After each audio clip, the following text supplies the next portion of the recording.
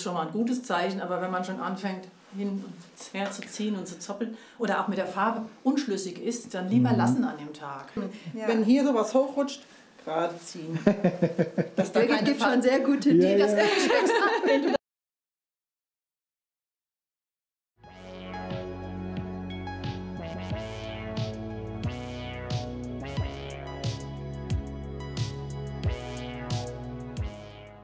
Herzlich willkommen zu diesem neuen Vlog.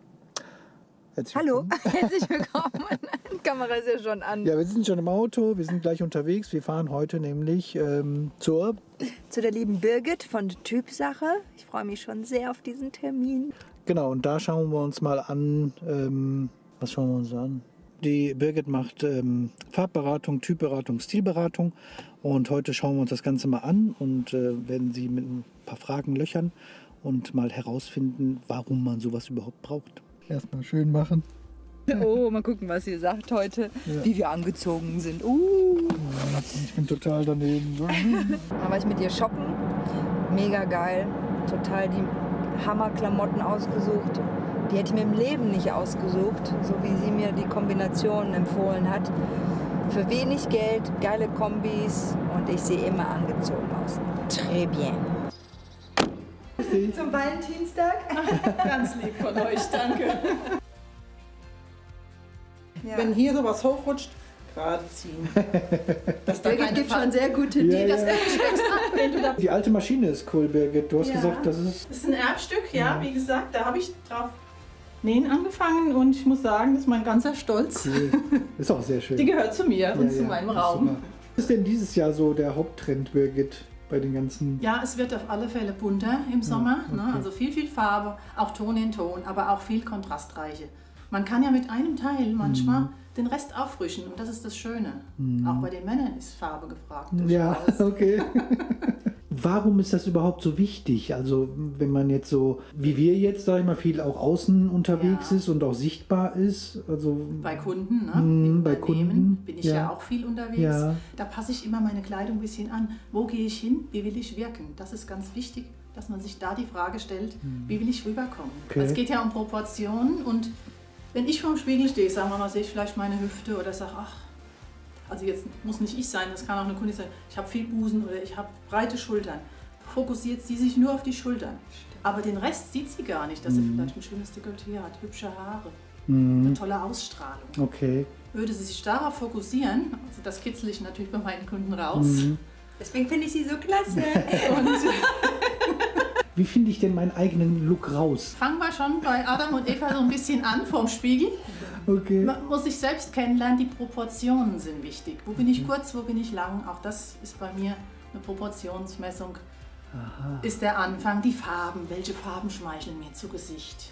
Auch das ganz wichtig. Ich hätte mich jetzt hier nicht in Camel hingesetzt, wo ich okay. blass wäre ohne Ja. Ende. Darum habe ich Farbe an. Ah, okay. weil ich weiß, das sind Farben, die mir schmeicheln und die bringen mich auch über die Kamera Mhm. ganz anders rüber. Ja, okay. Erstes würde ich, mir, wie gesagt, mal deine Figur anschauen, würde schauen, wie breit sind die Schultern im Verhältnis zum Becken. Dass wir mal sehen, Ja. das wäre so die Grundlage im Vergleich zum Becken. Und dann sehe ich, dass du ein bisschen breitere Schultern hast, ungefähr, sagen wir mal, 10 cm. Das sind aber nur zur Erklärung rechts und links 5. Ah, okay. Ja, also vom Gesamtbild aus wäre das gar nicht so viel, Ah, aber du bist okay. ein sportlicher Typ Ja, ja, schon ja. mal. Dann spielt natürlich auch die Gesichtsform eine Rolle. Mhm. Wie ist die Gesichtsform? Wie sind die, die Haare? Sind die glatt? Alles, was du mitbringst. Wie sind die Mhm. Schultern eher gerade, geschwungen? Okay. Die Beine kurz lang im. Verhältnis zum Oberkörper.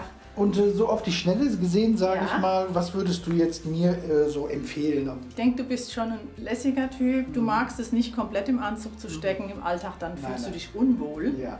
Also das sehe ich Kunden schon auch Ja. auf den ersten Blick so ein bisschen an, wenn man sich unterhält Mhm. und näher kennenlernt. Halt dir mal verschiedene Farben vors Gesicht und dann gucken wir mal, wie wirkt zum Beispiel ein Orange.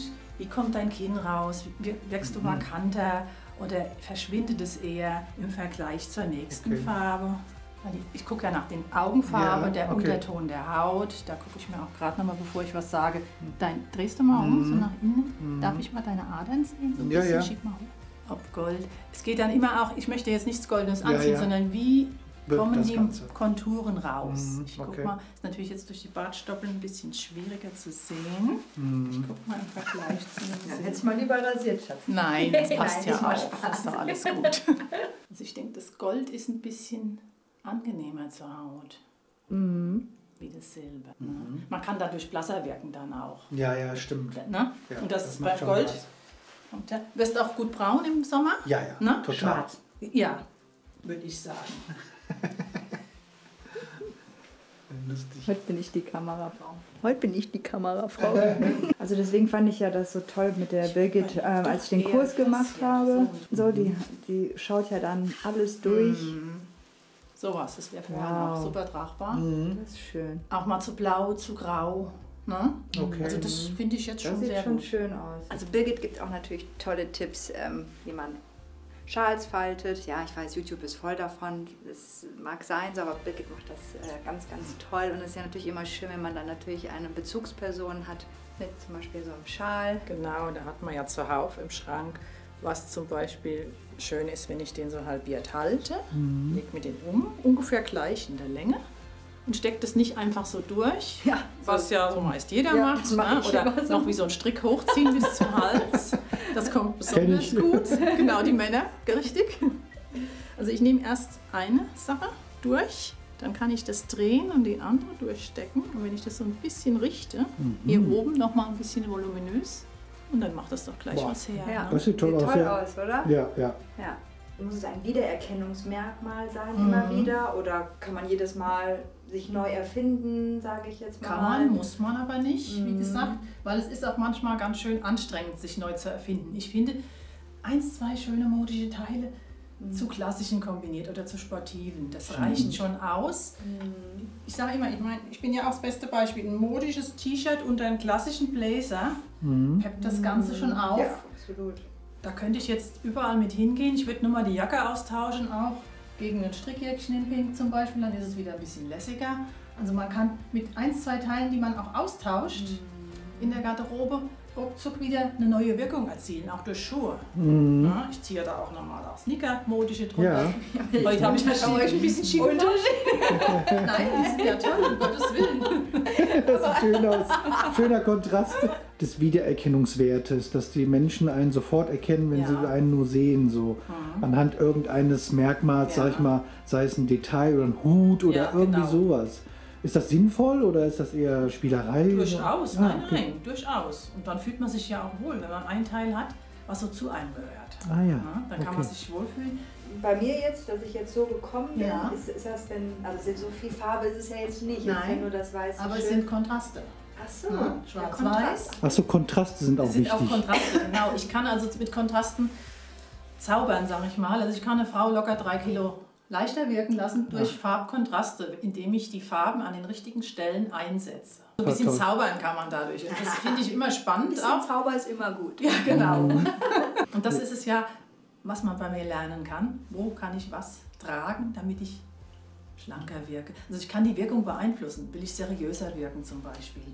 Dann kann ich eine markantere Brille wählen. Will ich ein bisschen weicher rüberkommen, dann müssen wir mit anderen Farben arbeiten. Dann sind mehr die weiblichen Farben. Weibliche Farben zum Beispiel von rosa über rot oder lila Töne. Birgit war ja auch mal bei mir zu Hause und hat ja mein, mit mir meinen Schrank aufgeräumt. Was ich an Birgit auch total toll finde, dass sie nachhaltig denkt. Genau. Also sie ist sehr nachhaltig unterwegs, äh, deswegen schon mal einen Daumen hoch.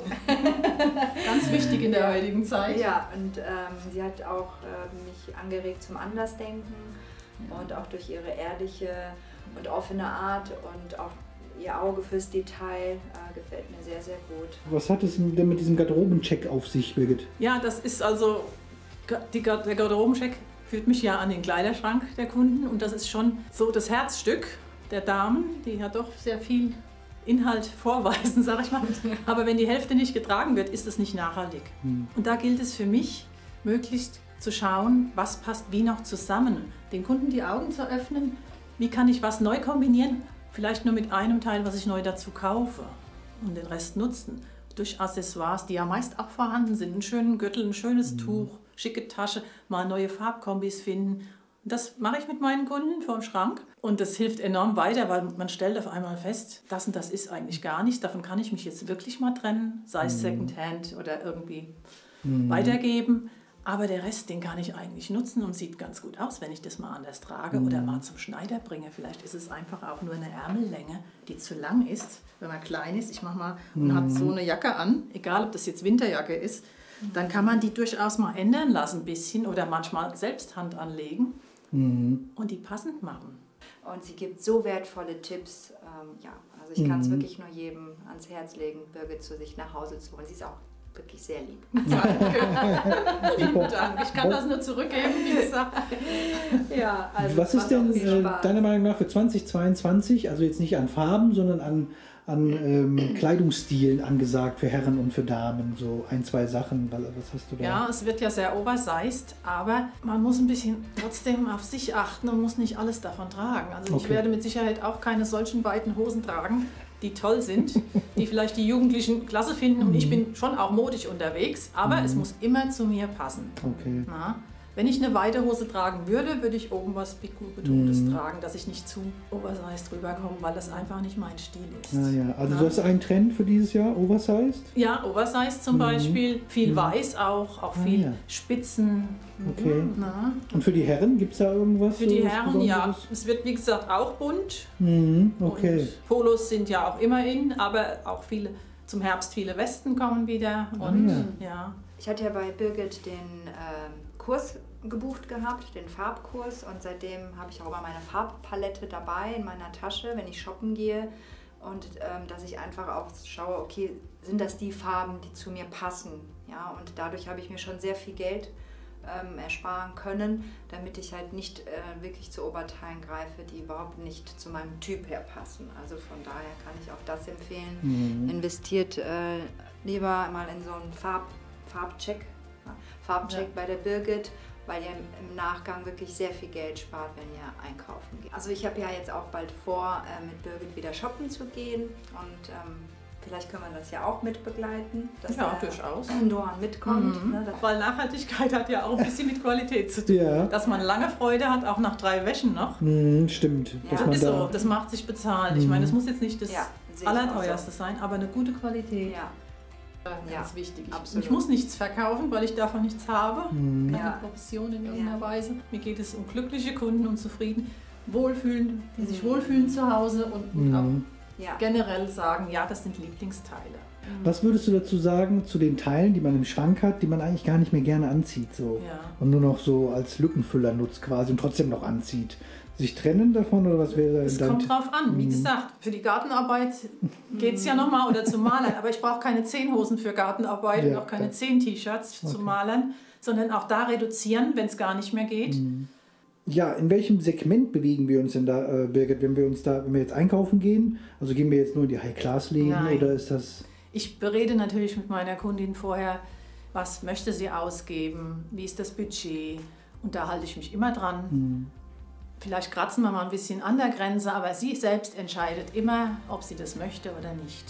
Nicht ich. Gell? Birgit. War sehr, sehr Ja. schön. Ich freue mich Ja, riesig. vielen Dank, Birgit, Ich für die tolle danke euch, Beratung und für die ganzen Gerne, Infos. ja. Bis zum nächsten Mal. Ciao, bin ciao. gespannt, wie das nächste Mal aussieht. Ja, ciao. Tschüss. Birgit. So, jetzt sind wir wieder zu Hause angekommen. Ich hoffe, ihr habt, konntet euch was mitnehmen von dieser Folge bei der Birgit und wir freuen uns aufs nächste Mal. Ja, ich freue mich auch sehr aufs nächste Mal. Seid gespannt, was beim nächsten Mal geben wird. Tschüss. Tschüss.